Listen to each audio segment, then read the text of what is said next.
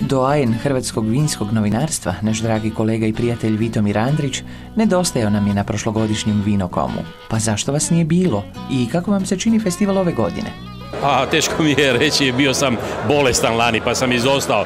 Dakle, sa, u odnosu na onu e, prethodnu godinu još prije, e, da, razvija se, daje neke novosti, ali sad treba malo svježe krvi. Malo treba više mladih. Vidim previše starih faca kao što sam ja, suhadolnik i tako dalje.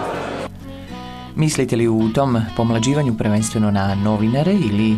Prvenstveno sami vinari. Oni sami moraju isturiti u prve redove svoje, svoj pomladak, mlado, svoju obitelj koji će se primiti, nastaviti posao.